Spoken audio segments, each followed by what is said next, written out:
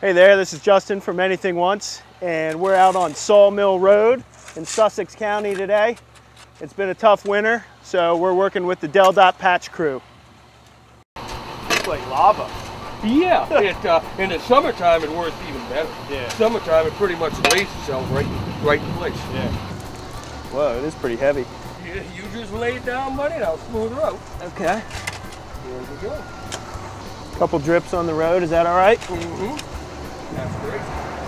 Three years ago, I was out here on Sunnyside Road, 600, the road we just came down. Yeah. And uh, I was running the roller at that time. We were, we were actually building a section of road, and I was running the roller over it. And I almost run the roller over our cat that we have right now. Oh. It's a feral cat. And she was laying in the ditch, her eyes all matted up and everything. And I picked her up, put her in the truck, and brought her home and back to the shop. And my wife took off from work and brought the, the animal home.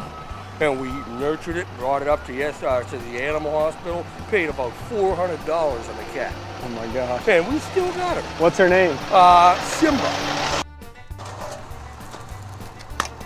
You just basically don't want any real uneven. No, well, it's gonna be uneven, but when a truck rolls over it, it'll all work its way in. Yeah. Okay.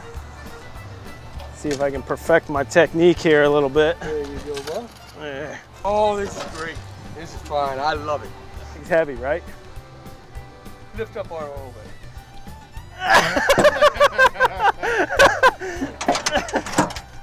Okay. She got a little bit of weight. Go back and get another ton and a half, we'll start again. I'm not serious.